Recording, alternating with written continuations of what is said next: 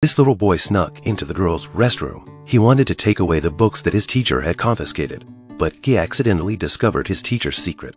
That teacher, Ilse, puts on false teeth. The boy, Thomas, was so frightened that he turned and ran away. When Ilse returned to the classroom, she seemed to notice something. She took down scenes of chocolates out of her bag and gave them to the whole class. They ate them happily. Only Thomas didn't eat them because he suspected that Ilse was a monster. Thomas wrote a note and threw it to his two best friends. He told them not to eat it, but he was discovered by the teacher. Ilse warned him not to make trouble. After class, Thomas told his friends that the teacher was a monster, but they didn't believe him. Until the next day, all the students who ate the chocolate were delighted and slow. Ilse continued to hand out chocolates to her students. Thomas excused himself, saying he had a cavity and couldn't eat it. At night, Thomas called out two of his best friends. They decided to go to Ilse's house house to find the evidence that she was a monster.